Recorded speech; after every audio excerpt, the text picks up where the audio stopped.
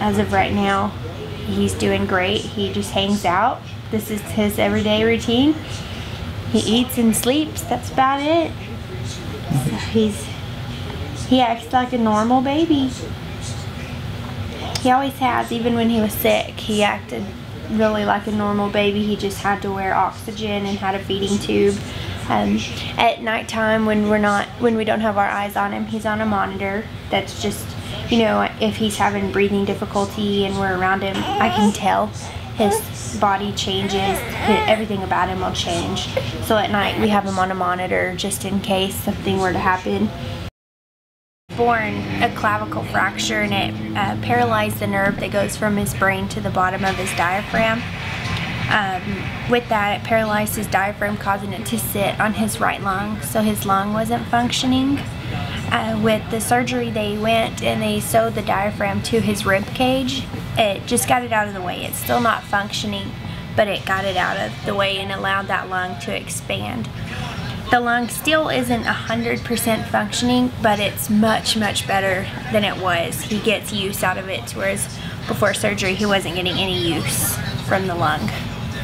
Um, after the surgery, he had lots of post-op complications. His right lung actually fully collapsed twice.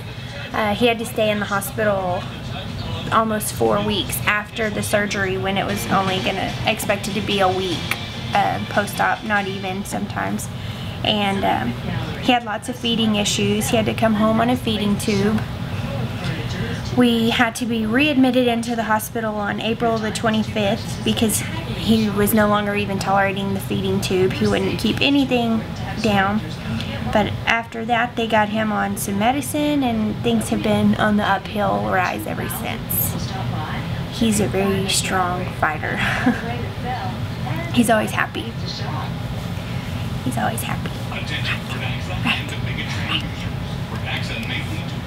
Well, they don't anticipate this being a life-altering thing. They think that um, at some point the phrenic nerve may reconnect and actually become functionable or as an adult he really won't realize that his diaphragm is paralyzed because the rest of his body will compensate. Just as an infant, his body wasn't able to compensate like it should. Mm -hmm.